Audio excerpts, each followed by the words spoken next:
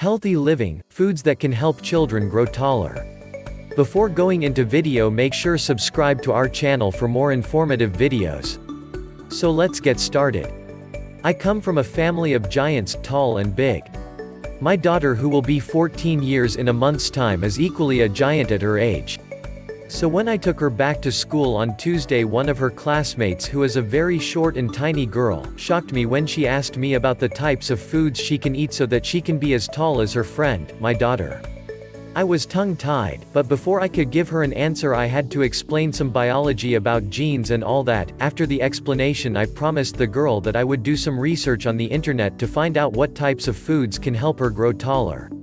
Apart from the genes that determine how tall or short we become, children should eat nutritious food during their growing years to prevent stunted growth.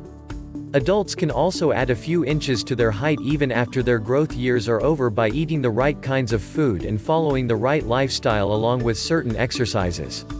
According to the sources on the internet, food rich in proteins, vitamin and minerals can make a person grow taller.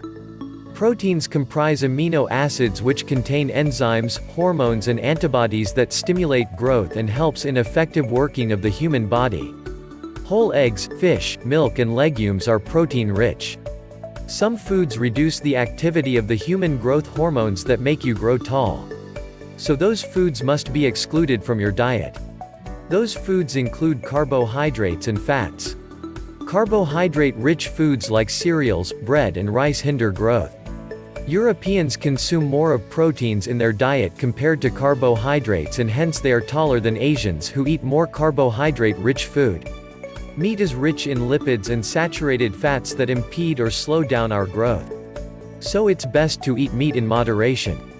If a person cannot avoid meat, it is better to choose lean red meats, fish, liver or seafood like pink salmon with long bones. These are low in fat content and help you to grow tall, as they are rich in fatty acids.